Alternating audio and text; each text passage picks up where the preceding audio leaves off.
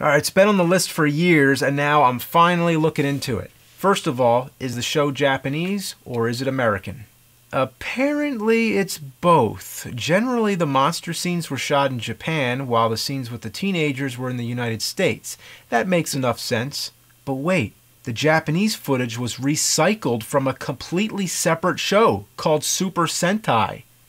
The plot thickens. So there's two different shows, both coexisting and both still going on to this very day. Does that mean I have to watch Super Sentai also? Um, absolutely.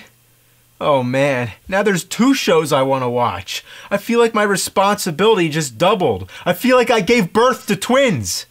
Oh, wait, Super Sentai began in 1975 and it's still going on to this very day? They've been making episodes consistently for the past 42 years. I'm gonna die.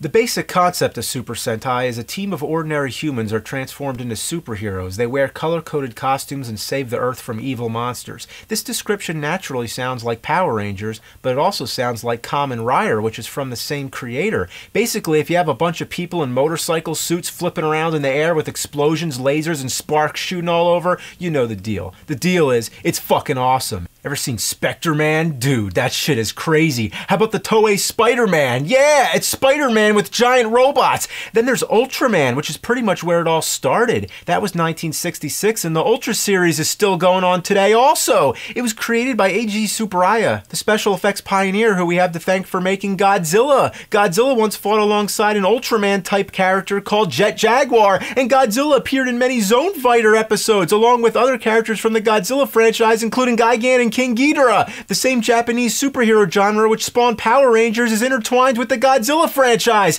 And if we haven't opened up a big enough can of worms already, these franchises fall under the umbrella term tokusatsu. This is a mother genre which generally includes any films that rely heavily on special effects, such as giant monster movies, of course, which I've always known as Daikaiju films. Then you have human-sized monster films like The Manster, superhero series like Super Sentai, space films like Green Slime, mecha series which are about giant robots controlled by people like Gunhead, the giant Robo series, and even this crosses over into the Godzilla franchise with characters such as Mecha Godzilla and Mecha Ghidorah. And then you take it a step further with Combiner Robots, which plays a big part in Power Rangers. It's robots that come together to form bigger robots like Voltron and Transformers. And now we're getting into animation. Anime. Holy fuck!